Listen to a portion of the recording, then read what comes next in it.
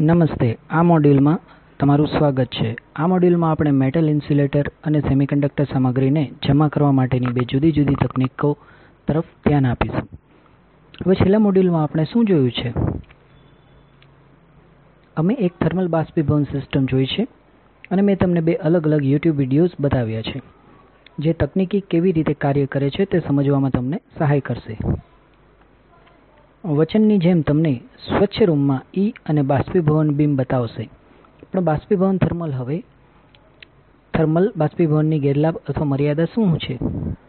જો તમે તેના વિશે વિચારો છો, તો થર્મલ બાષ્પીભવન તે છે જ્યાં તમારી પાસે સ્રોત છે, જેના પર તમે સામગ્રી લોડ કરો છો અને પછી તમે તે સામગ્રીને ગરમ કરો છો. જ્યારે સામગ્રી પહોંચે છે, તે ગલનબિંદુ છે. તે બાષ્પીભવન કરશે અને તે સબસ્ટ્રેટ પર જમા થશે. અને તે નથી. તેથી અહીં મુશ્કેલી એ છે કે જો તમે સ્રોત પર લોડ કરી રહ્યાં છો, તે સ્રોત સામગ્રી, જો સ્રોત સામગ્રીના ગલનબિંદુ સ્રોત ધારકના ગલનબિંદુ કરતા વધારે હોય, તો પછી ગલનશીલ સ્રોતને બદલે તમે સોર્સ ઇ ધારકને પીગળી જશે અને તે સ્વીકાર્ય નથી. કારણ કે આપણે આ સ્રોત ધારકને નહીં, પણ સ્રોતને બાષ્પીભવન કરવા માંગીએ છીએ. તે નથી. તે એક મુશ્કેલી છે. જ્યારે આપણે જે માલ સામગ્રી તેને જમા કરવા માંગીએ છીએ, તે ગલનબિંદુ સ્રોત ધારક કરતા વધારે હોય. ત્યારે ડબલ્યુ અને થર્મલ બાષ્પીભવનનો ઉપયોગ કરી શકતા નથી. તે કિસ્સામાં વૈકલ્પિક તકનીક શું હોઈ શકે?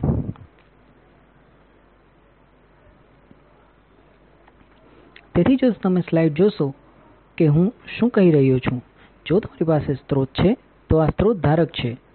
સ્રોત ધારક પણ યોગ્ય એનડી જેવા કોઇલ હોઈ શકે છે. જો હું આ સ્રોત ધારકમાં સામગ્રી લોડ કરું છું, જેને આ કોઇલમાં સ્રોત દ્વારા કહેવામાં આવે છે, અમે આ પ્રકારના વાયરને અધિકાર લોડ કરીશું. ચાલો આપણે કહીએ કે આ વાયર એલ્યુમિનિયમનું છે અને આ સામગ્રી પણ એલ્યુમિનિયમ છે. હવે સ્રોત ધારક સામગ્રી જેને બોટ દ્વારા બોઆટી કહેવામાં આવે છે અને આપણું કોઇલ બરાબર છે. તેથી સ્રોત ધારક સામગ્રી તે કોઇલ છે કે તે હોડી યોગ્ય છે. તેથી હું લખું છું સ્રોત ધારક સામગ્રી ગલનબિંદુ સ્રોત સામગ્રી ગલનબિંદુ કરતા વધારે હોવું જોઈએ. આ ખાટા સી ધારક છે, જે સ્રોતને પકડી શકે છે. ઉદાહરણ તરીકે, એલ્યુમિનિયમ કોઇલ પણ સ્રોત ધારક છે. તેમાં કોઇલ પર એલ્યુમિનિયમ વાયર લોડ થઈ શકે છે. તે નથી. એક સ્રોત ધારક સામગ્રી ગલનબિંદુ તમારા એલ્યુમિનિયમના સ્રોત એમ એરિયલની તુલનામાં ખૂબ ઊંચું હોવું જોઈએ. તેથી, જો આ કિસ્સો હોય તો જ્યારે તમે આ બોટને વોલ્ટેજ અથવા જમણે વધારે વોલ્ટેજ લગાવીને ગરમ કરો છો, કારણ કે આ એક પ્રતિકાર છે, તેથી વર્તમાન પ્રવાહ હશે અને વર્તમાન કારણે દ્વિઓ આ મટીરીયલ હોય કે જેને તમે લોડ થાય છે, વરાળ મળશે. તે નથી. જો કે, જો સ્રોત ધારક સામગ્રી ગલનબિંદુ, સ્રોત સામગ્રી ગલનબિંદુની નજીક અથવા તેની બરાબર છે, તો પછી શું થશે? પછી કોઇલ બાષ્પીભવન શરૂ કરશે અથવા સ્રોત ધારક પર ભરેલી સામગ્રીને બદલે હોડી વરાળ શરૂ કરશે. ત્યાં બરાબર મુશ્કેલી છે. તેથી પછી આ પ્રકારની સમસ્યા માટે વૈકલ્પિક શું હોઈ શકે? આ સ્રોત સામગ્રીને ગરમ કરવાને બદલે વૈકલ્પિક છે અથવા તેથી આ સ્રોત ધારક સામગ્રી કે અમે તે શું કર્યું? તેથી ગરમ બોટ અથવા કોઇલને બદલે આપણે જેનો ઉપયોગ કરીશું. તે ક્રુસિબલ છે. ક્રુસિબલ ફરીથી એક ધારક અધિકાર છે.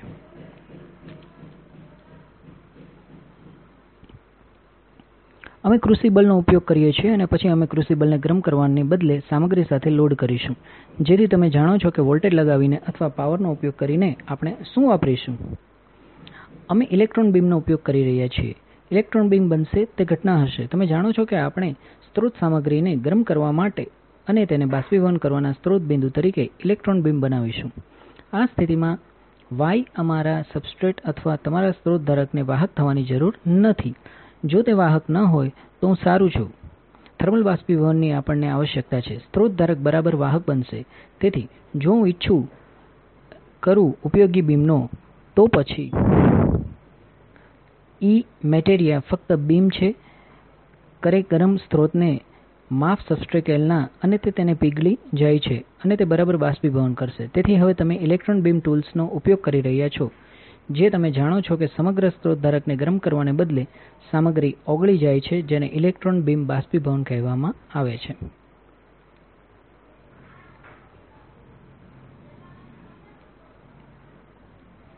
તો ચાલો આપણે એન એક્સલાઇડ જોઈએ. આ તે જ છે જેની તમે વાત કરી હતી કે તમારી પાસે ક્રુસિબલ છે. તમે જોઈ શકો છો કે તમે અહીં જોઈ શકો છો તમારી પાસે એક સ્રોત છે જે અહીં લખી રહ્યું છે અને પછી આ પીગળેલા સ્રોત છે. પીગળેલા સ્રોતનું કારણ એ છે કે ઇલેક્ટ્રોન બીમ જે ફિલેમેન્ટથી ઉત્પન્ન થાય છે, તે પ્રવેગક ઇલેક્ટ્રોડ અને આ બેન્ડને ડિફ્લેક્ટિંગ મેગ્નેટ દ્વારા ઉત્તેજિત કરવામાં આવે છે અને તે સ્રોત પરની ઘટના છે. તેથી જ્યારે તે સ્રોત પરની ઘટના છે, ત્યારે તે સ્રોતને ઓગળે છે અને સ્રોત બાષ્પીભવન કરવાનું શરૂ કરશે. તેથી તે તમારા દર્દીમાં ઇલેક્ટ્રોન બીમ બાષ્પીભવન ફેન ઓમનની છે. તે અત્યંત શક્તિશાળી તકનીક છે અને તે સામગ્રીને બાષ્પીભવન કરી શકે છે. પ્રમાણભૂત થર્મલ બાષ્પીભવન તકનીકનો ઉપયોગ કરવો મુશ્કેલ અથવા તો અશક્ય છે. કેટલીક સામગ્રી ટિટેનિયમ જેવી છે અથવા આપણે પણ તમે જાણો છો કે સિલિકોન ડાયોક્સાઇડ એક એલ્યુમિના અને પછી આ કિસ્સામાં વાસ્તવિક ફોટોગ્રાફ અથવા ઇ બીમ સિસ્ટમ છે. આ સ્રોત બરાબર છે. અને સ્રોત ક્રુસિબલમાં લોડ થયેલ છે. અને ઇલેક્ટ્રોન બીમ અહીંથી આવશે અને તે આ સ્રોત પર આ બરાબરની જેમ બનશે. અને કારણ કે તમે તેને ગરમ કરી રહ્યા છો સ્રોત સાદડી એરિયલ બાષ્પીભવન કરશે. આ શટર છે. શટર એ બાષ્પીભવન અટકાવવાનું છે, કારણ કે જ્યારે તમે તેને ચલાવતા હોવ, તો તમે કહી શકો કે તમે એક માઇક્રોન ફિલ્મ જમા કરાવવા માંગો છો. જલદી તમે એક માઇક્રોન પર પહોંચશો. તમારે ઓપરેશન બંધ કરવું જોઈએ. પરંતુ જ્યારે તમે ઇલેક્ટ્રોન બીમ બંધ કરો છો, ત્યારે આ ધાતુ અત્યંત ઊંચા તાપમાને હશે અને તે હજી થોડો સમય બાષ્પીભવન કરશે. તેથી જો તમે શટરનો ઉપયોગ કરો છો, તો સબસ્ટ્રેટ હશે, તે સામગ્રી સબસ્ટ્રેટ પર જમા થશે નહીં. જે શબ્દની ઉપર છે. મારો મતલબ એ કે આ ખાસ વીમું કરવું તે વિશે છે. ત્યાં સબસ્ટ્રેટ બરાબર છે. સબસ્ટ્રેટ સાઇઝ આના માટે છે. હવે જ્યારે શટર ખુલ્લું છે તે પછી તે સામગ્રી બરાબર જમા કરાવતી હતી અને જ્યારે સબસ્ટ્રેટ બંધ થાય છે ત્યારે આ શટર પર સામગ્રી જમા થઈ જશે. આ સબસ્ટ્રેટ છે જ્યારે આ સબસ્ટ્રેટને શટર દ્વારા સુરક્ષિત કરવામાં આવે છે, પછી સામગ્રી શટર પર જમા થાય છે અને સબસ્ટ્રેટ પર નહીં. આ રીતે તમે ફક્ત એક માઇક્રોન અથવા તો નીચે પણ નિયંત્રિત કરી શકો છો. તેથી આ કંઈ નથી, પરંતુ શટર આ છે, તેથી તમે બાષ્પીભવનને રોકવા માટે શટરનો ઉપયોગ કરી શકો છો. તે સમજવાને કારણે તમે ખૂબ સરળ શબ્દોમાં જાણો છો.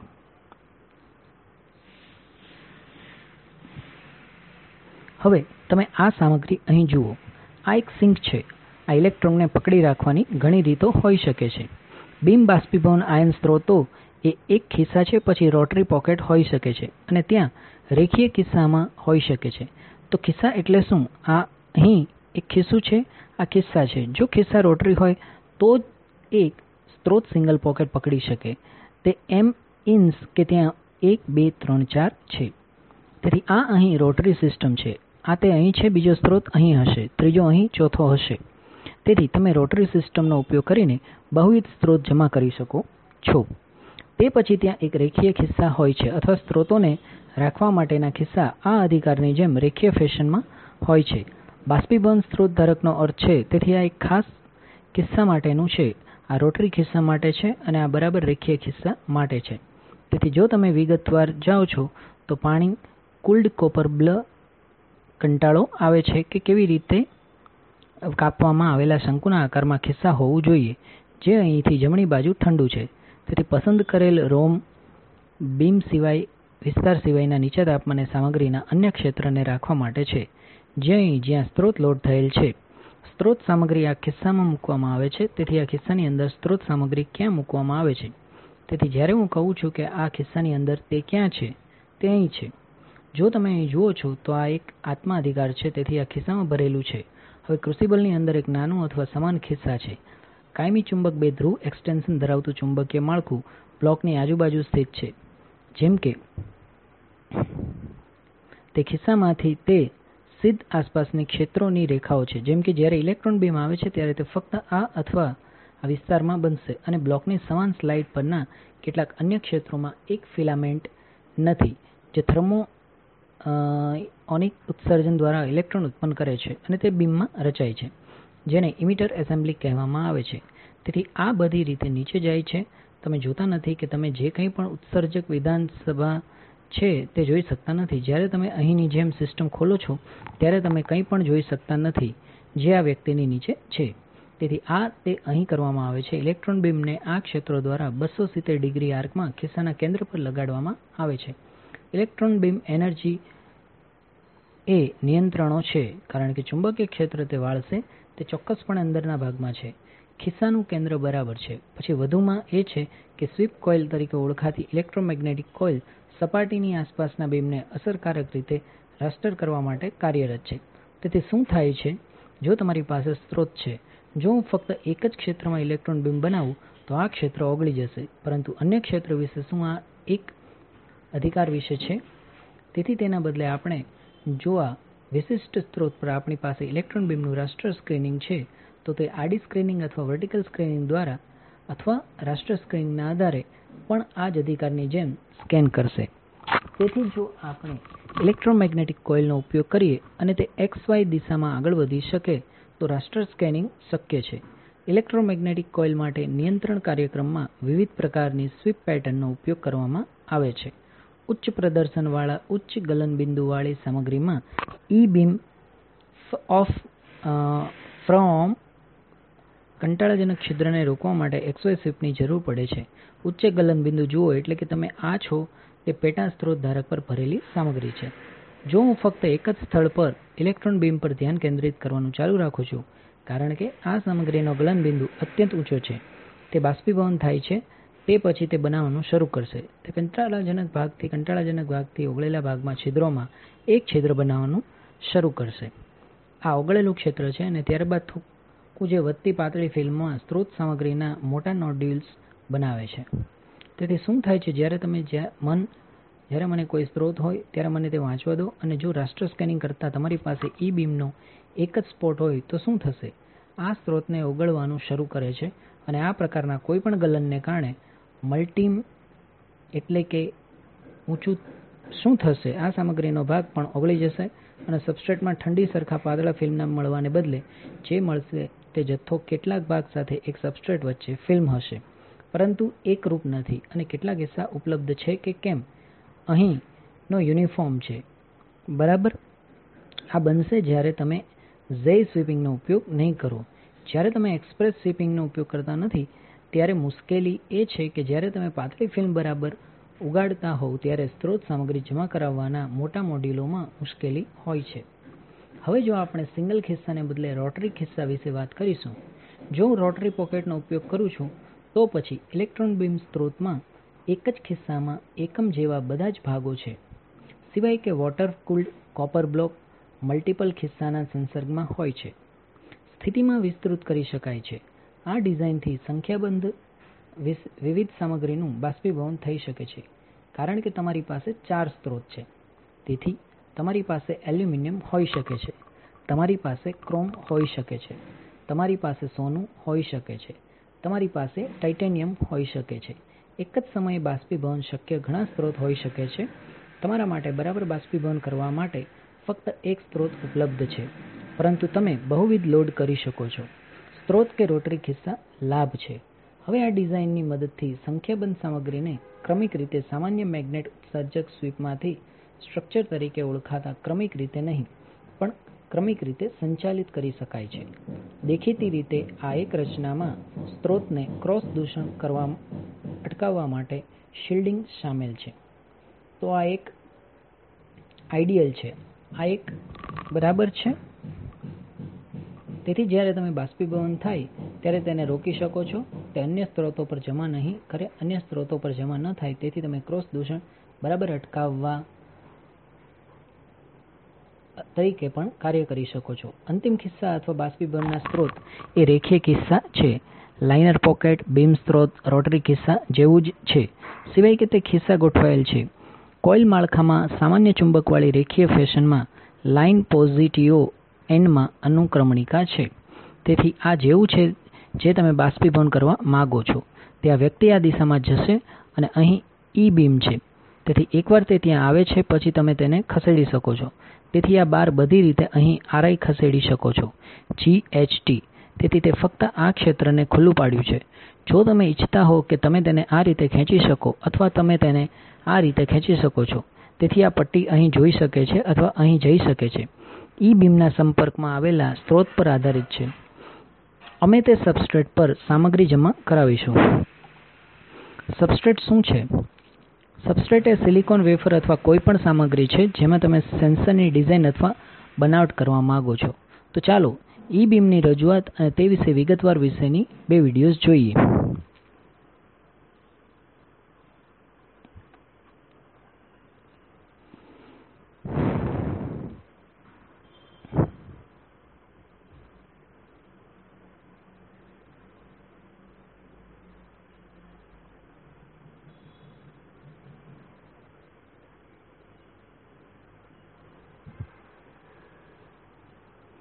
તો ચાલો હું વિડિઓ ચલાવું.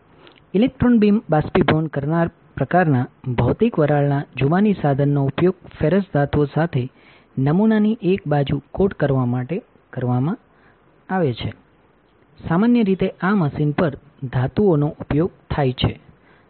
એલ્યુમિનિયમ, પ્લેટિનમ, સોનું, ક્રોમ, નિકલ, તાંબુ.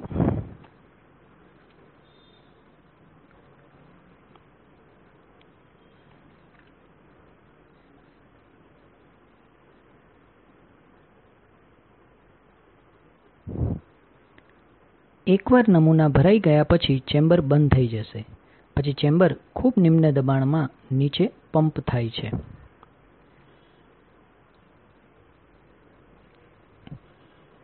મશીન જે ફિલામેન્ટ દ્વારા વીજળી છોડે છે.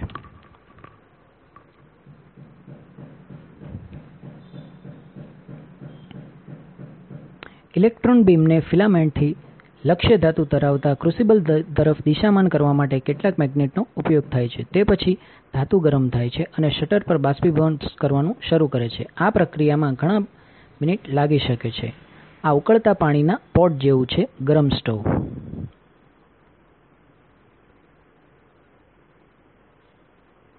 બાષ્પીભવનના વર્તમાન દરને નિર્ધારિત કરવા માટે ચેમ્બરની અંદર એક સેન્સરનો ઉપયોગ થાય છે.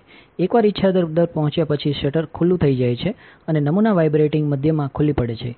બાષ્પીભવનનો ઇચ્છિત દર અને બાષ્પીભવન થવાની ધાતુની માત્રા જુબાની નિયંત્રક હેઠળ સેટ કરી શકાય છે.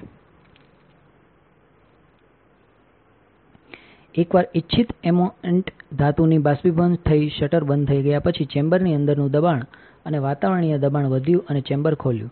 ઠીક છે કે તમે પ્રથમ વિડિઓ જોયો છે. ચાલો આપણે બીજા વિડિઓમાં પણ જોઈએ.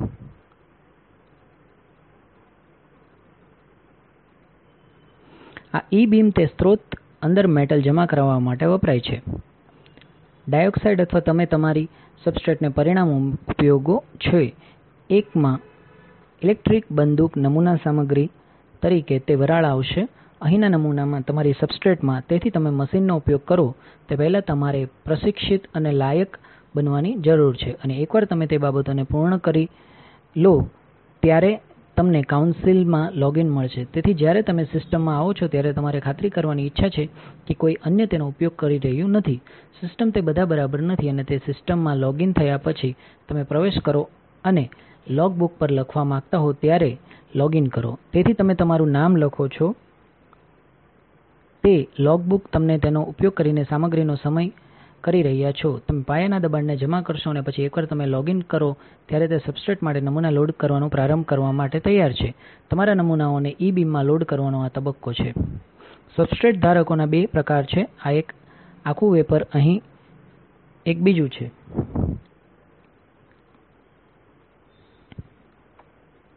જ્યાં અમે નાના અથવા વેફરના ટુકડાઓ મૂકી શકીએ છીએ, ત્યાં તમે ખરેખર સંપૂર્ણપણે કરી શકતા નથી. તેથી જો આપણે આ નમૂના ધારક તરફ ધ્યાન આપીએ તો તમે વેફરને નજીકમાં મૂકી દીધું છે અને અમે તેને એકસાથે રાખીશું કારણ કે ખરેખર આખી વસ્તુ મશીનમાં છે, તેથી તમે ઇચ્છતા નથી કે તે રચાય. નમૂના બનાવવા માટે હું ક્લિપ્સનો ઉપયોગ કરું છું, પરંતુ તમે થર્મલનો ઉપયોગ કરી શકો છો. તેથી એકવાર તમે આ વેફરને ઓગાળી લો અને પછી તમે તેને સિસ્ટમમાં મૂકવા માંગતા હો, તમારે સિસ્ટમમાં ધીર કરવાની જરૂર પડશે કારણ કે અત્યારે તે એક ઉચ્ચ વેક્યુમ છે. તેથી આપણે હવે જે કરવા જઈ રહ્યા છીએ તે છે આપણે દબાણમાં સિસ્ટમ તરફ દોડ્યા છીએ. તે એટીએમ પર 7 4 થી 10 થી વત્તા 2 સુધી પહોંચી ગયા છે. આપણે ખરેખર ચેમ્બર ખોલી શકીએ છીએ. તેથી અમે વેન્ટ બંધ કરીશું અને ટ્રેન ટ્રેને વધારીશું એટલે વાલ્વ ઉપર ચેમ્બર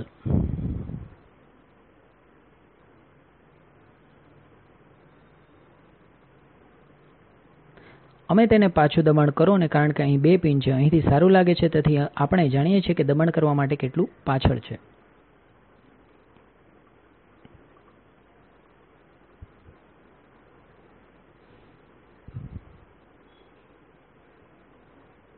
તેથી એકવાર અમારી પાસે સિસ્ટમ અહીં લોડ થઈ જાય, પછી આપણે ખરેખર લોડ કરવા માંગીએ છીએ અને શક્ય છે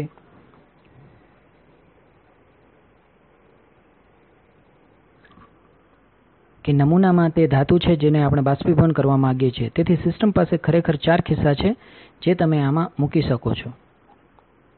તેથી જમણા ખિસ્સાને વધારવા માટે આપણે સૌ પ્રથમ સંદર્ભ તરીકે સોનાનો ઉપયોગ કરવાની જરૂર પડશે. સિસ્ટમ અમે ટિટેનિયમને કડક બનાવવા માટે કરી રહ્યા છીએ. અમે અદ્ભુત સોનું બનાવવા માંગીએ છીએ.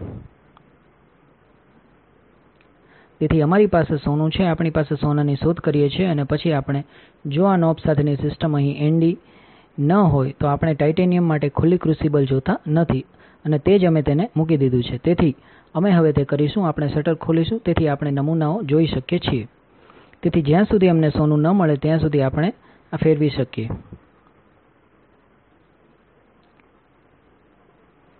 તેથી અમે અંદર જુઓ. તેથી અમે તેને ચાલુ રાખીએ છીએ. પછી સોનું ત્યાં જ છે. તેથી અમે સોના પછી એક તરીકે બહાર ગયા. તેથી આપણે જાણીએ છીએ કે આ ટાઇટેનિયમ માટેનો સ્લોટ છે. તેથી અમે અહીં મૂકીશું, ખાતરી કરો કે તે છે. ખાતરી કરો અને પછી આપણે સી શટર ગુમાવીએ છીએ. આ બે આ બે અરીસાઓ જેવો પણ સારું છે. તેથી જ્યારે તમે જમા કરો ત્યારે આ અરીસાઓ તમને ક્રુસિબલ બનાવવામાં મદદ કરે છે. આ અરીસો અમને શટર બંધ થાય ત્યારે તમે ક્રુસિબલ જોઈ શકો છો અને પછી આ અરીસા તમને શટર જોઈ શકશો. ક્રુસિબલ ડબલ્યુ હેન શટર ખુલ્લું હતું. તેથી તમે આ હાઇટ વિશે તમારું માથું મૂકો છો અને આ ખાતરી કરો કે શટર ખુલ્લું હોય ત્યારે તમે ત્યાં અરીસો જોઈ શકો છો. અને પછી, ત્યાં અરીસામાં તે શટર બંધ હોવાનો ક્રુસિબલ લાગે છે. તેથી હું અનુમાન કરું છું કે જ્યારે હું બંધ ન હોઉં, ત્યારે ત્યાં ક્રુસિબલ જોઉં છું. અને પછી હું તે ખુલ્લું છે, ત્યાં ક્રુસિબલ જોઈ શકું છું. તેથી મારા અરીસાઓમાં યોગ્ય સ્થિતિમાં છે. તેથી હવે એ નમૂના બંધ છે અને સબસ્ટ્રેટ ત્યાં છે અને શટર બંધ થયેલ છે. એક અરીસો યોગ્ય સ્થિતિમાં છે. અમારી પાસે એક નમૂના અહીં છે. સુરક્ષિત રીતે તમે એક ચેમ્બરને નીચે લાવી શકીએ છીએ અને તેને ફરીથી ઉચ્ચ શૂન્યાવકાશમાં મૂકી શકીએ છીએ. તેથી અમે તે કરવા જઈ રહ્યા છીએ. હવે તે લોડ ચેમ્બર જેવું છે. તેથી હવે, કે અમારી પાસે ચેમ્બર બંધ છે અને અમારા નમૂનાઓ ત્યાં છે અને તે ક્રુસિબલ છે અને શટર બંધ છે. અમે પ્રક્રિયાને પંપ કરવાનું શરૂ કરીએ છીએ. તેથી હમણાં સિસ્ટમ સામાન્ય વાતાવરણમાં છે. તેથી અમે તેને શૂન્યાવકાશમાં નીચે લાવવા માંગીએ છીએ, પરંતુ અમે ત્યાં ફક્ત કાપી શકતા નથી. તેથી આપણે તેને એક પંપના પ્રકાર દ્વારા કામ કરવાની જરૂર છે. તેથી આ પ્રથમ વસ્તુ ડબલ્યુઇ કરવા જઈ રહ્યા છીએ. તે યાંત્રિક પંપને ફેરવો કે જેના પર રફિંગ કરવામાં આવે છે. તેથી એ અહીં એક રફિંગ વાલ્વ છે. અમે તેને ફક્ત ચાલુ કરીએ છીએ. ખાતરી કરો કે હાઇટ વેન્ટ બંધ છે.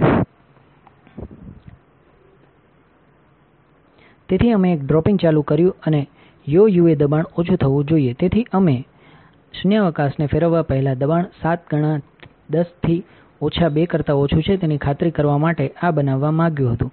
પરંતુ તમે તેનાથી થોડું ઓછું પણ જઈ શકો છો. તેથી આપણે પ્રેશર અને ડ્રોપ થવા માટે રાહ જોઈશું. તેથી જ્યારે તેઓ પંપ રફિંગ વિશે કંટાળાજનક છે, ત્યારે દબાણ નીચે 50 બાજરીથી નીચે લાવ્યું છે. અથવા આપણે રફિંગ માટે મિકેનિકલ પંપને સ્વિચ કરી શકીએ છીએ અને વોટને ચાલુ કરી શકીએ છીએ. તેથી આપણે તે કરીએ છીએ, તે 50 મિલી ન્યૂટન હેઠળનું દબાણ છે અને હવે આપણે તેને બંધ કરીશું. અને એકવાર તેને બંધ કરીશું તો તબીબી વાલ્વના અભિનયની થોડી રાહ જોવી જોઈએ કે તે બંધ છે કે નહીં. અને પછી પીટ ચાલુ કરીએ. તેથી જ્યારે આપણે પાછળની પીઠ ફેરવીએ છીએ ત્યારે આપણે અમને ચાલુ કરી શકીએ છીએ જ્યારે આપણે કોઈ પ્રેશર અને ડ્રોપ ન હોવું જોઈએ.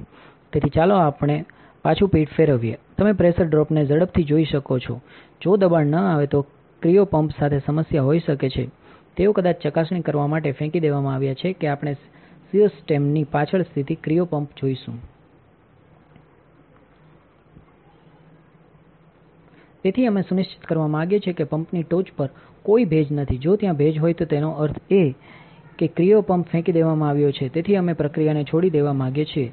તેથી પ્રક્રિયાને અવગણવા માટે અમે એચઇએચ શૂન્યાવકાશને બંધ કરવાની ખાતરી કરીશું અને પછી ચેઝ પર જઈને કોમ્પ્રેસરને બંધ કરીશું.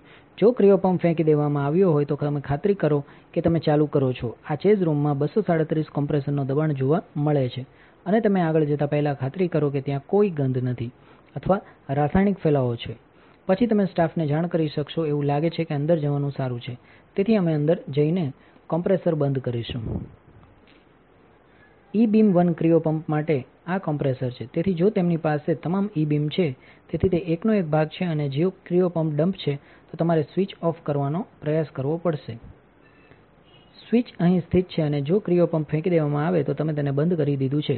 આ બંધ થયા પછીનો વારો જાણો છો કે સિસ્ટમ ડમ્પ થઈ ગઈ છે. તેથી અમે ઉચ્ચ ક્યુમ રાહ જોવાની છે. મોટી ચાર શ્રેણીમાં જઈશું, કારણ કે આપણે નકારાત્મક શ્રેણી ચાલુ કરીશું. તેથી અમે માટે રાહ જોવી પડશે.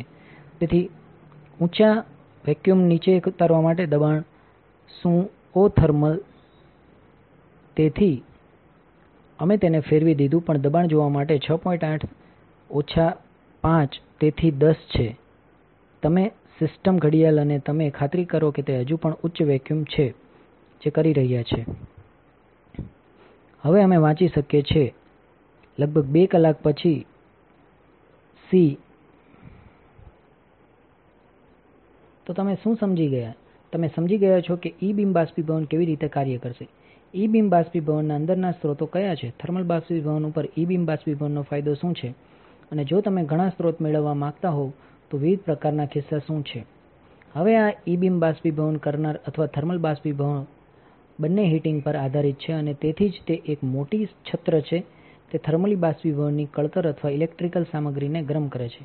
કારણ કે બંને કિસ્સાઓમાં કાં તો આ ઇલેક્ટ્રોન બીમમાં અથવા સ્રોત ધારકને ગરમ કરતા આપણે ઇલેક્ટ્રિક ઉર્જાનો ઉપયોગ કરી રહ્યા છીએ. તેથી ઇલેક્ટ્રિક કાં તો આપણે તેને પાવર સ્રોતની મદદથી ગરમ કરીએ છીએ અથવા આપણે એલ ઇલેક્ટ્રોન બીમનો ઉપયોગ કરી રહ્યા છીએ. અને બંને કિસ્સાઓમાં આપણે સામગ્રીને ઓગાળી રહ્યા છીએ અને પછી તેને બાષ્પીભવન કરી રહ્યા છીએ. તમે હજી એક તકનીક જાણો છો જેનો ઉપયોગ આ ફિલ્મ જમા કરવા માટે થાય છે અને તેને સ્પટરિંગ કહેવામાં આવે છે. સ્રોત એ પરથી પરમાણુઓને વિખેરવું અને સબસ્ટ્રેટમાં જમા કરવાની એક યાંત્રિક રીત છે. હવે તમે જોઈ હોય તો જ્યારે તમે મેટલ છત છે અને જો તે તમને યાદ હોય તો વરસાદ પડે ડ્રોપ અથવા ડ્રોપ અવાજ કર્યું તક તક અધિકાર ત્યાં આ સંખ્યા છે. તેથી તેની તે ઘટનાથી તેને સ્પટરિંગ કહેવામાં આવે છે કારણ કે અહીં પણ તે રેઇનડ્રોપ જેવા લાગે છે. બાય રેઇનડ્રોપ બદલે આપણે અણુનો ઉપયોગ ડિસ્પ્લોઝ કરવા માટે કરી રહ્યા છીએ. તેથી ગેસનો ઉપયોગ અણુઓને વિખેરવા અને અણુઓ સબસ્ટ્રેટ પર પડે છે અને ફિલ્મ જમા કરવા માટે થાય છે. તેથી એક, બીજા, ત્રીજા, ચોથા, પાંચમા, છઠ્ઠા, સાતમા, આઠમા અને તેથી આગળ છે. તેથી ચાલો સ્પટર ડિપોઝિશન તમે અહીં જોઈ શકો છો.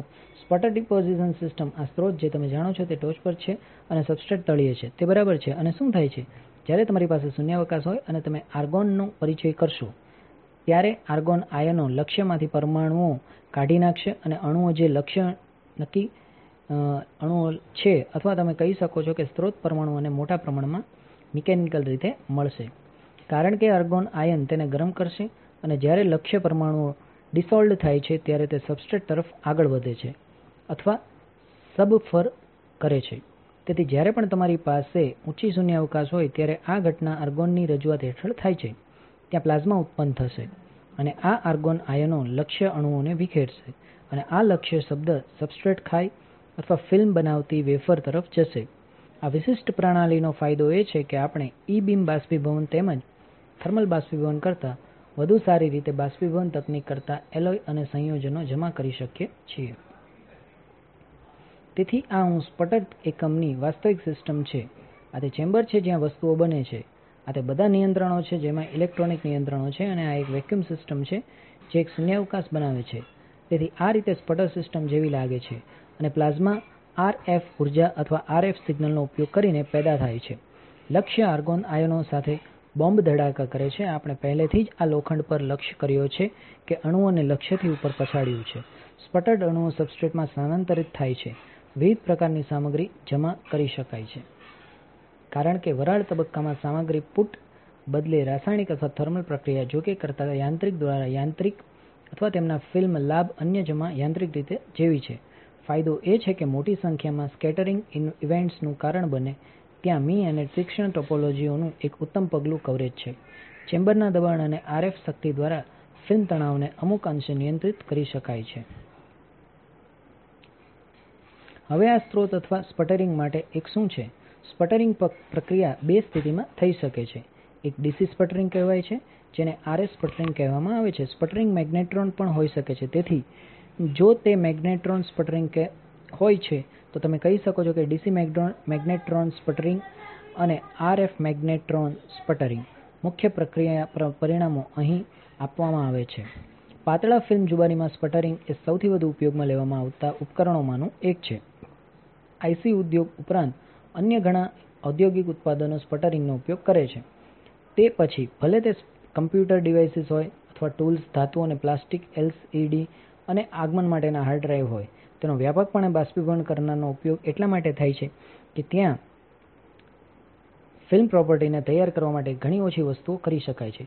બાષ્પીભવન કરનાર માટેનું આ પગલું કવરેજ નબળું છે. જ્યારે તમે બાષ્પીભવનના એકમ વિશે વાત કરો છો અને અંતે સામગ્રી ધ્યાનમાં લો, ચેમ્બરની દિવાલો પર જમા થાય છે અને બગડે છે, જ્યારે સ્પટરિંગના કિસ્સામાં તે નથી. તેથી આ થોડા લક્ષ્યો છે જેનો ઉપયોગ સ્પટરની અંદર કરવામાં આવે છે. તેથી સ્પટરિંગ સિસ્ટમને સમજવા માટે આપણે ફરીથી બે જુદા જુદા વિડિઓઝ જોઈએ અને પછી અમે હવાને ત્યાં અને આ સ્પટરિંગ સિસ્ટમની મર્યાદાઓની સરખામણી કરીશું અને તમે પ્રથમ વિડિઓ ચલાવો. ઘણા ઉદ્યોગોમાં સામગ્રીના પાતળા સ્તરોનો ઉપયોગ કરવાની નિર્ણાયક આવશ્યકતા છે. આર્કિટેક્ચરલ ગ્લાસ ડિસ્પ્લે અને ટચ પેનલ્સના અથવા સોલાર સેલ્સ બધી પાતળી ફિલ્મો ધરાવે છે. આ સ્તરો ઉત્પન્ન કરવા માટેની સૌથી મહત્વપૂર્ણ કોટિંગ પ્રક્રિયાને સ્પટર ડિપોઝિશન કહેવામાં આવે છે. તે કેવી રીતે કામ કરે છે? સ્પુટિંગ ડિપોઝિશન વેક્યુમ ચેમ્બરમાં કરવામાં આવે છે. પાતળા સ્તરો માટે સૌથી સામાન્ય સબસ્ટ્રેટ ગ્લાસ છે. સ્પટર સિસ્ટમ એપ્લિકેશનના આધારે વિવિધ કદના હોઈ શકે છે. પાતળા ફિલ્મ સામગ્રીનો સ્રોત એ આયોજક અથવા રોટરી સ્પટરિંગ લક્ષ્ય છે, જે મેટલ, સિરામિક અથવા પ્લાસ્ટિક મોલિબ્ડેનમ લક્ષ્ય ટીએસ ઉદાહરણ તરીકે આ સ્થાને વાહક પાતળા ફિલ્મો અથવા પાતળા ફિલ્મ સૌર કોષ બનાવવા માટે વપરાય છે. આ બિંદુએ પ્રક્રિયા શરૂ થાય છે. વેક્યુમ પંપ દ્વારા હવાને સતત દૂર કરવામાં આવે છે. શૂન્યાવકાશનો આધાર દબાણ આશરે 10 થી માઇનસ 6 મિલિબાર જેટલું છે, જે વાતાવરણીય દબાણના એક અબજમાં ભાગ જેટલું છે. આર્ગોન ગેસ નીચેના દબાણવાળા આર્ગોન વાતાવરણને પ્રાપ્ત કરવા માટે સતત રજૂ કરવામાં આવે છે. નળાકાર લક્ષ્યની અંદરનું ચુંબક એરે ચુંબકીય ક્ષેત્ર પેદા કરે છે. લક્ષ્ય ઠંડકયુક્ત પાણીથી ભરેલું છે, જે સ્પટરિંગ પ્રક્રિયા દરમિયાન ઉત્પન્ન થતી ગરમીને વિખેરશે. લક્ષ્યો જેથી ફરતા હોય છે, જેથી સામગ્રીનો સમાનરૂપે ઉપયોગ કરવામાં આવશે. મોલિબ્ડેનમ લક્ષ્ય ઉપર ઉચ્ચ વોલ્ટેજ લાગુ પડે છે. તે એક પ્લાઝ્મા બનાવે છે, જે ચુંબકીય ક્ષેત્રો સાથે કેન્દ્રિત છે. પ્લાઝ્મામાં આર્ગોન અણુઓ સકારાત્મક રીતે ચાર્જ કરેલા આર્ગોન આયનો અને મુક્ત ઇલેક્ટ્રોનનો સમાવેશ કરે છે. સકારાત્મક ચાર્જ કરેલા આર્ગોન આયનો ઓર્ગોન પરમાણુઓને ફટકારતા ઇલેક્ટ્રોન દ્વારા સતત ઉત્પન્ન થાય છે. સ્પટરિંગ લક્ષ્યને નકારાત્મક રીતે પુનરાવર્તિત કરવામાં આવે છે. આર્ગન આયનો તેની તરફ આકર્ષાય છે. સપાટી છે. ચાલો જોઈએ કે શું થાય છે.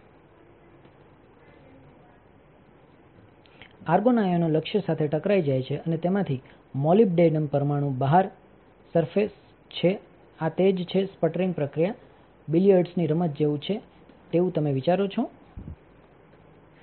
લેયર ડિજેક્ટેડ મોલિબ્ડેનમ અણુઓ દ્વારા લેયર સ્પટરિંગ લક્ષ્યની સામે ગ્લાસ સબસ્ટ્રેટમાં જમા થાય છે.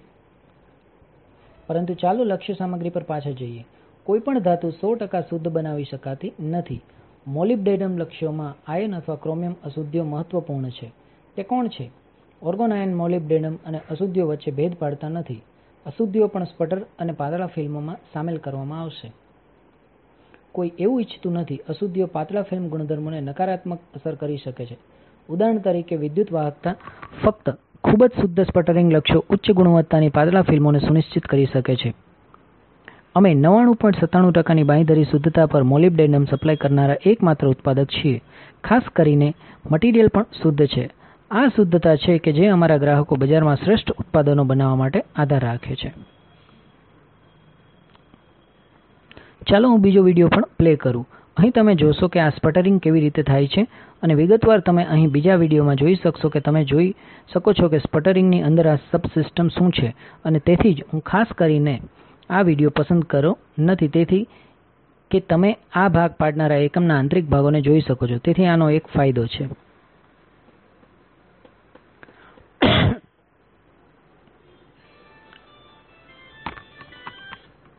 તેથી આ દોરી અને અન્ય ડિસ્પ્લે તકનીકોમાં મારા ભાવિ પ્રયોગો માટેનો આધાર હશે. તેથી ચાલો હું તમને બતાવી દઈએ કે મેં કેવી રીતે કર્યું. ડિવાઇસ કે જે ખરેખર થાપણો કરી રહ્યું છે, તેને સ્પટર ગન કહેવામાં આવે છે અને મેં મેટલના મૂળભૂત ટુકડાઓથી માઈને મચાવ્યું છે અને હું તેને અહીં આ રીતે સ્ક્રૂવા જઈ રહ્યો છું અને આખરે આવી વસ્તુ ફક્ત આવી જ આવે છે. નીચે અહીં છિદ્રમાં એક સ્પાર્ક પ્લગ છે અને તે અમારી તરફ સામનો કરી રહ્યું છે. તેથી અંડરસાઇડ થર ઇ પર બાકીનો સ્પાર્ક પ્લગ છે અને તે પછી તેની બાજુમાં એક નળી બંધ થવાની સાથે સોય વાલ્વ આવે છે. અને નળી મારા આર્ગોન સિલિન્ડર તરફ ચાલે છે. તેથી હું સોય વાલ્વ દ્વારા ચેમ્બરમાં કેટલી આર્ગોન પ્રવેશ કરી રહી છે તે નિયંત્રિત કરી શકું છું અને સ્પાર્ક પ્લગ દ્વારા હું ચેમ્બરમાં ઉચ્ચ વોલ્ટેજ મેળવી શકું છું. અને સ્પટર ગનની નીચેની બાજુ અહીં એક સળિયો છે, જે સ્પાર્ક પ્લગની ટોચ પર સંપર્ક કરે છે. તેથી મારી પાસે ચેમ્બરમાં એક કવચવાળી એન્ટ્રી છે. એક સ્પટર ગન પોતે બાંધકામમાં યોગ્ય રીતે સરળ છે. તેથી ચાલો હું તેને અલગ કરીને બતાવું કે તે અંદર છે અને પછી વર્ણવો કે આખી પ્રક્રિયા કેવી રીતે કાર્ય કરે છે. તેથી એકદમ બહારને ગ્રાઉન્ડ કવચ કહેવામાં આવે છે અને તે આની જેમ સરકી જાય છે અને આનો હેતુ ફક્ત તે પાતળા જીએસ રાખવાનો છે કે જેને તમે આમાં સ્પટર કરવા માંગતા નથી. તેથી આઇડિયલી એકમાત્ર વસ્તુ છે જેને તમે ચેમ્બર સામે આવે છે અને અહીં આ ડિસ્કની સપાટી છે, જે તે વસ્તુ છે જે આપણે માઇક્રોસ્કોપ સ્લાઇડ પર મોકલવા માટે સ્પટર કરવા માંગીએ છીએ. તેથી જો આપણે તેને લઈએ, તો બાકીનું આ રીતે બંધાયેલ છે અને આ બે સ્તરો વચ્ચે એક ઇન્સ્યુલેટર છે. તેથી અમે આને અલગ લઈશું અને હાલમાં કેટલાક ફેરફારો છે જે હું આ કરવા જઈ રહ્યો છું. આ છે નાયલોનની સ્ક્રૂ અને બદામ, જે તે બધા ઇથરને નાયલોનમાં ધરાવે છે. તે ખરેખર એક મહાન વેક્યુમ ચેમ્બર સામગ્રી નથી. તેથી આખરે હું આને અપગ્રેડ કરવા જઈ રહ્યો છું. મને ખાતરી છે કે તેના બદલે હું શું વાપરીશ? અને તેથી આ ભાગ વેક્યુમ ચેમ્બર કેસની સંભાવના પર છે. ચાલો આપણે તેને ફક્ત જમીન કહીએ અને પછી આંતરિક ભાગ અહીં આ તે છે જ્યાં તે સ્પાર્ક પ્લગને સ્પર્શે છે. આ બધું નકારાત્મક ઉચ્ચ વોલ્ટેજ પર છે. ચાલો આપણે 1000 વોલ્ટેજ નેગેટિવ કહીએ. તેથી અહીં અંદર અમને આ બાહ્ય શેલની અને આંતરિક શેલ વચ્ચે ખૂબ જ પોટેન્શિયલની સંભાવના મળી છે. પરંતુ તેણી ઇ કેટલીક યુક્તિઓ છે જે અમને ફક્ત લક્ષ્ય સામગ્રીને સ્પટર કરવાની મંજૂરી આપે છે અને બાકીના ભાગમાં સ્પટર નહીં કરે. તેથી હું આ ખોલીશ અને તમે જોઈ શકો છો કે હું ઘણા બધા સ્ક્રૂઝ ગુમાવી રહ્યો છું, કારણ કે મને હજુ સુધી યોગ્ય નથી મળી અને હું આ ઝડપથી ચકાસી શકું છું. અમે અહીં અંદર એક ચુંબક ring magnet neodymium ring magnet અને સ્ટીલ પોલ ટુકડો છે, જે મેં લેથ ચાલુ કર્યું છે અને તેથી અહીં એક વિચાર છે કે જ્યારે અહીં ચુંબક દાખલ કરવામાં આવે છે ત્યાં ટોચ પર એક સરસ ચુંબકીય ક્ષેત્ર છે અને તમે તે પણ જોઈ શકો છો કે જેણે કમનસીબે મારો ડિસ્કને તોડ્યું. તેથી હું હજી સુધી ઉપરના સ્તરને પૂર્વવત કરવા જઈ રહ્યો નથી, પરંતુ તે પણ એક રિંગ પેટર્ન છે જ્યાં સ્પટરિંગ દ્વારા ડિસ્ક કાઢી નાખવામાં આવી છે. મને અહીં ઠંડક પ્રણાલી માટે કેટલાક છિદ્રો પણ મળ્યા છે, જે કમનસીબે મારી પાસે હજી સુધી ચાલ્યું નથી. તેથી તે ક્રેક્ડ ડિસ્ક્સ છે. અને તે વિચાર સાથે આ હશે એક ટેલિફોન ટોટી એક પ્રકારનો છે, તે ખરેખર એક પ્લાસ્ટિક કહેવાય છે. પીએફએ આ જેમ એક એવો અંદર રિંગ સાથે નળી સુધીથી સીલ કરી શકાય છે અને પછી અંદર ઓરિંગ જમણી સ્થળ અહીં આ આખી વસ્તુ બંધ થઈ ગઈ છે અને હું ખરેખર કોપર બ્લોક દ્વારા પાણી ભરી શકું છું. તેથી મારી ઘણી બધી સ્પટરિંગ સિસ્ટમ કહે છે કે તેમને પાણીની ઠંડકની જરૂર પડે છે અને હું હંમેશા તમને જાણું છું કે ફક્ત તમારા માટે ચાલતી સિસ્ટમોને જ લાગુ કરવામાં આવે છે જે દિવસમાં 8 કલાક જાણે છે. જો હું જાણ્યું કે થર્મલ માસ કે આ બ્લોક મને સુરક્ષિત રાખવા માટે પૂરતો હશે, એક તમે 5 મિનિટ રન ડબલ્યુ, પરંતુ તે તારણ નથી. મને ખાતરી નથી કે આ મારા ક્લેમ્પિંગને કારણે હતું, કે તમે ખૂબ શક્તિ અથવા કંઈક વસ્તુ જાણો છો. પરંતુ મને લાગે છે કે જો તમે કોઈપણ વાજબી દરે સામગ્રીને છૂટી કરવા માંગતા હો, તો પાણી ઠંડક એ એક જરૂરી વસ્તુ છે. તેથી ચાલો હું તમને જણાવીશ કે આ ખરેખર વસ્તુ કેવી રીતે કાર્ય કરે છે. તેથી જો તમે માઇક્રોસ્કોપ સ્લાઇડ જેવા કંઈ પર સરસ સમાન કોટિંગ બનાવવા માંગતા હો, તો તમારી પાસે થોડા અલગ વિકલ્પો અને બે સૌથી સામાન્ય મુદ્દાઓ અથવા બાષ્પીભવન અને સ્પટરિંગ છે. તેથી અગાઉના વિડિઓમાં મેં બાષ્પીભવનની પ્રક્રિયા વર્ણવી અને આ તે સામગ્રીને ગરમ કરે છે જેનો તમે કોટ કરવા માંગો છો. માફ કરશો, તે સામગ્રીને ગરમ કરો કે જેની સાથે તમે કોટિંગ બનાવવા માંગો છો. અને સામાન્ય રીતે આ જેમ કે મેટલ બોટમાં કરવામાં આવે છે, તેથી અમે શું કરીએ છીએ? અહીંથી એક સાથી કરંટ પ્રવાહ પસાર થાય છે. આ વસ્તુ ખૂબ જ ગરમ, સફેદ, ગરમ, પણ પીળી ગરમ અને સામગ્રી અહીં બાષ્પીભવન થાય છે અને તે પછી તમને જે વસ્તુનો કોટ જોઈએ છે તેના પર કન્ડેન્સ થાય છે. તેથી આ તમે જાણો છો લગભગ રસોડામાં ઉકળતા પાણી સાથે સમાનતા અને પછી ઠંડા વિંડો પર કોઈ ટિકિટ પાણીના ટીપાંને ઘટતું નથી. આનો નુકસાન એ છે કે તમારે સામગ્રીને પીળા ગરમ તાપમાને ગરમ કરવી પડશે. તેથી જો તમારી સામગ્રી તે કોઈપણ કારણોસર લઈ શકતી નથી અથવા જો તે સમશીતોષ્ણ ઉપર બીજી કોઈ સામગ્રીમાં બદલાઈ જાય છે, તો પછી તે કામ કરશે નહીં. અને જ્યારે આપણે વાહક આઇટીઓ કોટિંગ્સ બનાવવાની વાત કરી રહ્યા હોઈએ ત્યારે આ ચોક્કસ છે જ્યારે તમે ગરમી કરો છો, જ્યાં સુધી હું જાણું છું કે વેક્યૂમ આઇઓ અપ થઈ જાય છે, તે બેઝ મેટલ્સમાં પાછું પોતાને ઘટાડે છે અને તે કામ કરતું નથી. તેથી વૈકલ્પિક પ્રક્રિયાને સ્પટરિંગ કહેવામાં આવે છે અને આ ગેસ અણુઓમાં વેગ આપીને અને ગેસના અણુઓને ખૂબ જ ઝડપે સામગ્રીને સપાટી પર સ્લિમ કરવા માટે છે. જેનાથી આપણે કોટિંગ બનાવવા માંગીએ છીએ અને જ્યારે તે થાય છે તે માત્ર યોગ્ય ઊર્જા સ્તરો છે. તે ખરેખર સામગ્રીની સપાટીના કેટલાક અણુઓને કાઢી નાખે છે અને તે ચેમ્બરમાં છંટકાવ કરે છે અને છેવટે તેઓ તે વસ્તુ ઉતરશે જેનો તમે કોટ કરવા માંગો છો. તેથી અહીં સ્પટર ગનનો ક્રોસ સેક્શન વ્યૂ છે. આઈ ટુ ડિસ્ક એ વસ્તુ છે જેની સાથે આપણે કોટિંગ બનાવવાની ઇચ્છા રાખીએ છીએ. અને પછી અમને ઉત્તર અને દક્ષિણ ધ્રુવો સાથે તે આપણું ચુંબકીય પુલ ભાગ મળી ગયું છે જે વાંધો નથી. જે મને ધ્રુવ ભાગ સાથેનો વિચાર નથી લાગતો કે મેગ્નેટિક ફ્લક્સ સ્ટીલમાંથી પસાર થાય છે અને પછી બેકઅપ તરીકે તમે અહીંથી જાણો છો. તેથી ચુંબકીય ક્ષેત્રની રેખાઓ આના જેવી લાગે છે. અહીંયા આખું આંતરછેદ નકારાત્મક એક હજાર વોલ્ટ જેટલું છે અને બાહ્ય વિભાગ 0 પર છે. તેથી જ્યારે આપણે ચેમ્બરને ખૂબ નીચા દબાણમાં પંપ કરીએ છીએ અને અમારા 1000 વોલ્ટના સંભવિત તફાવતને અહીં ચેમ્બરના બાકીના ગેસ પરમાણુઓ આયનાઇઝ્ડ કરીશું, એવું મૂળભૂત રીતે જેમ તમે તેઓના નિયોન સાઇન કરે છે અને ચુંબક સાથેની યુક્તિ તે છે. તે આ ક્ષેત્રમાં બધા ઇ ઇલેક્ટ્રોનને કેન્દ્રિત કરે છે અને તે આ કરે છે કારણ કે ઇલેક્ટ્રોન પ્રમાણમાં ઓછા વજનવાળા હોય છે અને તેઓએ ચાર્જ લીધો છે. તેથી મૂવિંગ ઇલેક્ટ્રોન આ ચુંબકીય ક્ષેત્ર રેખાઓથી અસરગ્રસ્ત છે. હકીકતમાં તેઓ ખરેખર ચુંબકીય ક્ષેત્ર રેખાઓની આસપાસ સર્પાકાર છે. આપણે આ ક્ષેત્રમાં બધા ઇલેક્ટ્રોનને સહકેન્દ્રિત કર્યા છે. જો કે તે ઇલેક્ટ્રોન નથી, જે ખરેખર આપણા માટે સ્પટરિંગ કરી રહ્યા છે.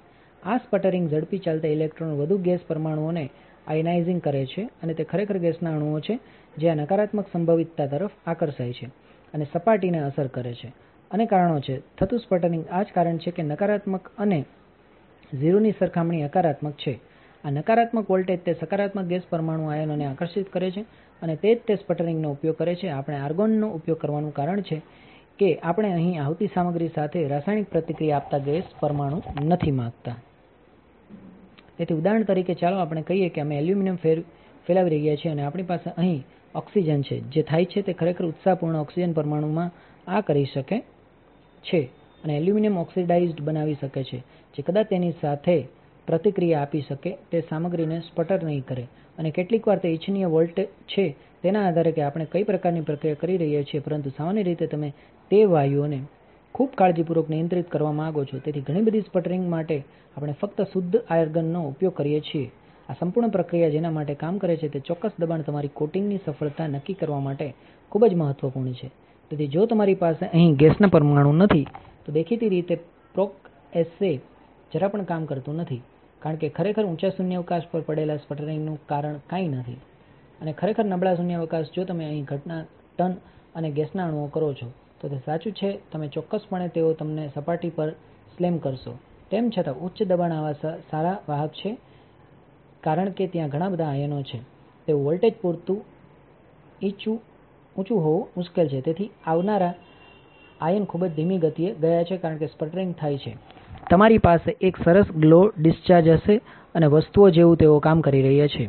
મૂળભૂત રીતે બીજી સમસ્યા એ છે કે જો તમારી પાસે અહીં ઘણા બધા ગેસ પરમાણુઓ છે, જ્યારે તમે છેવટે સામગ્રીનો ટુકડો કાઢી નાખતા હોવ ત્યારે તે વાતચીત કરવા માટેનું કામ કરે છે અથવા તે ચાલે છે. તે ગેસ પરમાણુઓને ફટકારવા માટેનું અને તમારું સેટઅપ કેવી રીતે ગોઠવેલ છે તેના આધારે તે સારી વસ્તુઓ હોઈ શકે છે અથવા નહીં પણ. તેથી જો તમારી સપાટી પરનો કોડ અહીંનો પ્રકારનો છે, તો તમે સામાન્ય રીતે ઇચ્છો છો કે આ સ્પટરવાળા પરમાણુઓ તેની તરફ એકદમ સ્પષ્ટ રસ્તો હોય. જો ત્યાં એવું છે, તો ઘણા ગેસના અણુઓ અહીં છે. ઘણા સ્પુટર સામગ્રી ગેસ સાથે સંપર્ક કરે છે અને એક પ્રકારનું વહેવા લાગે છે. તે ખરાબ વસ્તુ હોઈ શકે છે, કારણ કે તમે તમારા ચેમ્બરની સપાટી પર અન્ય વસ્તુઓ છટકી જશે અને કોટ કરશે. તે સાહિત્યમાં લાગે છે કે મોટાભાગના લોકો 10 થી 100 મિલી ટી અથવા યોગ્ય સ્પટરિંગ દબાણ માટે પસંદ કરે છે. પરંતુ તે ફેલાવવાના પંપને કોઈપણ રીતે વાપરવું અને ચેમ્બર નીચેથી નીચે પંપ કરવું તે ખૂબ સામાન્ય છે. કારણ કે તમે તેને મૂળભૂત રીતે ફક્ત પાણીના અણુ અને સપાટીના બાષ્પીભવન માટે બધું જ સાફ કરવા માટે મેળવી શકો છો. અને તે પછી તેને આર્ગોન સાથે બેકફિલ કરો. તમે ઇચ્છો તે દબાણ સુધી. મારા પ્રથમ કેટલાક પ્રયોગોમાં મેં અહીં નોંધ્યું છે કે દબાણને કાબૂમાં રાખવું એ આશ્ચર્યજનક રીતે ખૂબ મુશ્કેલ કામ કરે છે અને સાહિત્યિક કહે તેમ સ્પટર પ્રક્રિયા કેવી રીતે ચાલી રહી છે તેના પર ખૂબ અસર કરે છે. હું અહીં મારા પ્રથમ પ્રયત્નો માટે ઇલેક્ટ્રોફોરેસીસ પાવર સપ્લાયનો ઉપયોગ કરી રહ્યો છું અને તે આ હેતુ માટે એક ખૂબ જ બિન આદર્શ વીજ પુરવઠો હોવાનું બહાર આવ્યું છે. ઉપરાંત તમામ મૂર્ખ સલામતી ઇન્ટરલોક્સ કે જેનો ઉપયોગ કરવો મુશ્કેલ બનાવે છે તે પુરવઠો વર્તમાન મર્યાદાની સ્થિતિમાં ઝડપથી થાય છે અને તે મેળવવું મુશ્કેલ છે. સુસંગત વોલ્ટેજ વર્તમાન બહાર ઓએફ તે સરસ છે કે તેમાં સતત પાવર ફંક્શન હોય છે. તેથી તમે ખરેખર ઇચ્છિત વોલ્ટેજ સેટ કરી શકો છો અને પછી ચેમ્બરના દબાણ સાથે રમી શકો છો. અને તે શક્તિની મર્યાદાને ઓળંગ્યા વિના વોલ્ટેજ અને વર્તમાનને સંતુલિત કરશે. જો કે હું ભવિષ્યના પ્રયોગો માટે વિચારીશ, પરંતુ હું પ્રમાણભૂત ડાયોડ સાથેનો માઇક્રોવેવ પકાવવાની નાની ભઠ્ઠીનો ટ્રાન્સફોર્મર વાપરવા જઈ રહ્યો છું અને તેને ખૂબ જ નિયંત્રિત કરીશ. હવે ચાલો આપણે આજના મોડ્યુલ માટેની બીજી છેલ્લી સ્લાઇડ પર આવીએ. અને જો તમે સ્લાઇડ જોશો તો સ્પટરિંગમાં ફાયદા અને મર્યાદાઓ છે. તો ફાયદાઓ શું છે? જો તમે સ્લાઇડ પર ધ્યાન કેન્દ્રિત કરી શકો છો, તો તમે જોશો કે સ્પટરિંગ સિસ્ટમના ફાયદા મોટા કદના લક્ષ્યો છે. ફિલ્મોની રજૂઆતને સરળ બનાવે છે. સમાન જાડાઈ છે. બીજું છે ફિલ્મથી સિકનેસ એ ઓપરેટિંગ પરિમાણોને ઠીક કરીને, ખાલી સમયને સમાયોજિત કરીને સરળતાથી નિયંત્રિત કરી શકાય છે. પછી ત્રીજો ફાયદો એલોય કમ્પોઝિશનનું ગણતરી કરવામાં આવે છે. સાથે સાથે સારા પગલાની કવરેજ અનાજની રચના બાષ્પીભવન આયન દ્વારા સરળતાથી મેળવી શકાય છે. ફિલ્મ ડાયવર્ઝનના પહેલા વેક્યુમમાં સબસ્ટ્રેટની સફાઈ સ્પટરિંગ આ ખૂબ જ મહત્વપૂર્ણ છે. કારણ કે દર વખતે જો તમે કોઈ જમાવટ પહેલાં સિસ્ટમને સાફ કરવા માંગતા હો, તો ઇ બીમ મુખ્ય થર્મલી બાષ્પીભવનની તુલનામાં સ્પટરનો ઉપયોગ કરવો ખૂબ જ સરળ છે. છેવટે ઇ બીમ દ્વારા ઉત્પન્ન થતા ઉપકરણથી થતા નુકસાનને ટાળી શકાય છે. ઇ બીમના કિસ્સામાં ગૌણ બાય પ્રોડક્ટ્સ એક્સ રે છે, જે તમને જ્યારે અન્ય કોઈ ટ્રાન્ઝિસ્ટરમાં એમઓએસએફઇટી બનાવે છે ત્યારે નુકસાનનું કારણ બને છે. અને તેથી, જો તમે પેટર્નિંગનો ઉપયોગ કરો છો, તો ઉપકરણને નુકસાન થશે. જ્યારે તમે સ્પટરિંગ સિસ્ટમના ગેરલાભ અથવા મર્યાદા વિશે વાત કરી શકો છો, જ્યારે મૂડી ખર્ચ જેવા ઘણા બધા હોય છે, જ્યારે સીઆઓ 2 જેવી કેટલીક સામગ્રીના જમાના દર પ્રમાણમાં ઓછા હોય છે, ત્યારે કેટલાક સાદડી ઇરીયલ્સ જેમ કે કાર્બન સોલિડ્સ, કે સરળતાથી આખરે ઘટાડવામાં આવે છે.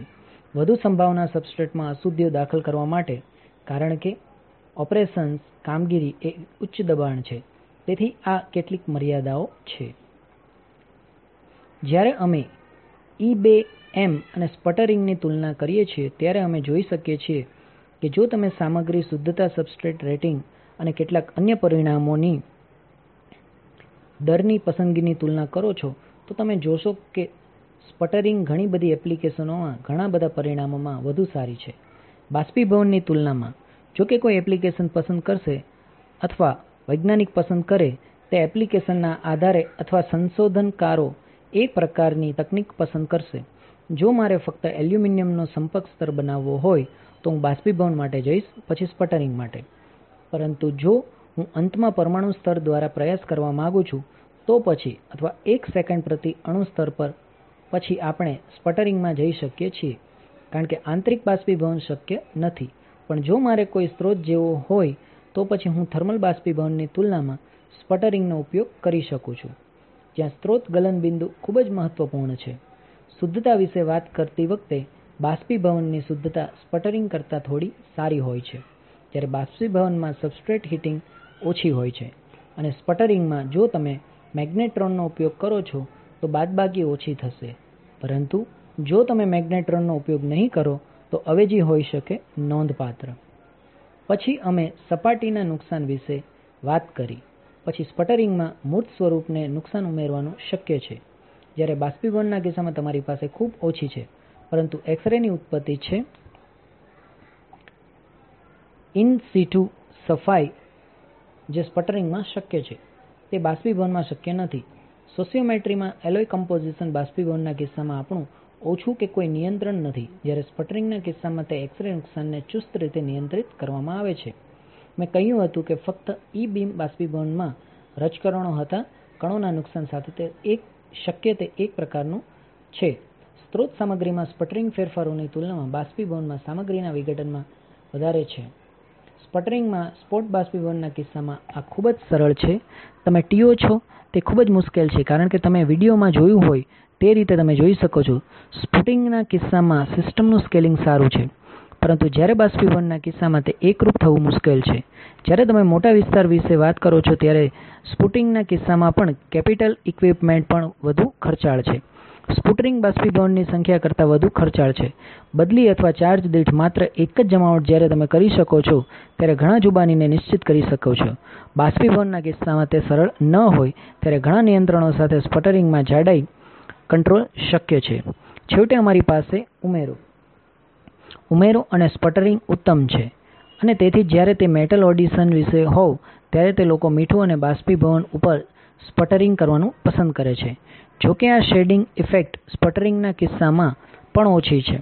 અથવા ઓછી છે અને તમારી બાષ્પીભવન સાથે સરખામણી કરવામાં આવે, તેથી જ તમારી પાસે ફિલ્મની સારી એકરૂપતા પણ છે. Coverage step. છેવટે ફિલ્મના ગુણધર્મો જેમ કે અનાજનું કદ અને અન્ય પીઆરામીટર બાષ્પીભવનના કિસ્સામાં નિયંત્રિત કરવું મુશ્કેલ છે, જ્યારે સ્પટરિંગના કિસ્સામાં ખૂબ સરળતાથી નિયંત્રણ થાય છે. તેથી, જો હું સારાંશ મેળવવા માંગુ છું, સારાંશ એ ભૌતિક વરાળના જુબામાં ત્રણ તકનીકોનો સમાવેશ થાય છે, જેને થર્મલ બાષ્પીભવન કહેવામાં આવે છે. સેકન્ડ ડીને સ્પટરિંગ કહેવામાં આવે છે અને ત્રીજાને ઇ બીમ બાષ્પીભવન. જમણા થર્મલ બાષ્પીભવન ઇ બીમ બાષ્પીભવન સ્પટરિંગ કહેવામાં આવે છે. તેથી એક પાતળા ફિલ્મ તરીકે જમા કરવામાં આવતી સામગ્રી પર વરાળની રચના કરવામાં આધારિત એક તકનીક છે.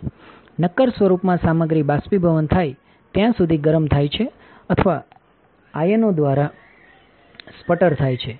જ્યારે છેલ્લા કિસ્સામાં આયન પ્લાઝ્મા દ્વારા પેદા થાય છે, જે નિષ્ક્રિય ગેસથી સ્પટરિંગનો કેસ છે. બાહ્ય આયન સ્ત્રોતમાંથી આયન બીમ સાથે નમૂના પર બોમ્બ ફેંકવાનું પણ શક્ય છે. ડિસ્ચાર્જ ઊર્જા અને તીવ્રતામાં ફેરફાર કરવા દેશે સબસ્ટ્રેટને પહોંચતા આયનની.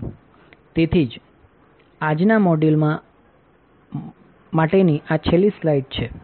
અને હું આશા રાખું છું કે આ સ્પટર સિસ્ટમ કેવી રીતે કાર્ય કરે છે અને ઇ બીમ ઓપરેટર કેવી રીતે કાર્ય કરે છે તેની પ્રક્રિયા તમે સમજી ગયા છો. એની નેક્સ્ટ વર્ગ અમે લિથોગ્રાફી પર વિડિઓઝ કેટલાક લિથોગ્રાફી સિસ્ટમ જોઈ આવશે. અને પછી ખરેખર આપણે રચી અથવા વિવિધ સેન્સર અને ઊર્જા પરિવર્તકો અથવા સેન્સર્સ અને એક્ચ્યુએટર્સને ઉપજાવી પ્રવાહ શરૂ કરો. તેથી, ત્યાં સુધી તમે આ વિશિષ્ટ મોડ્યુલને ધ્યાનમાં લેશો તકનીકીને સમજો છો. તમારામાંની આ બાબતો બતાવવાનો તમારો ખ્યાલ છે. તમે ઘણી ફિલ્મો જમા કરાવવા માટે ઉપલબ્ધ તકનીકોથી પરિચિત છો. પછી ભલે તે ધાતુની હોય કે સેમિકન્ડક્ટરની અથવા અવાહકની. તેથી ત્યાં સુધી તમે કાળજી લેશો. હું તમને પછીના ક્લાસમાં મળીશ. નમસ્તે.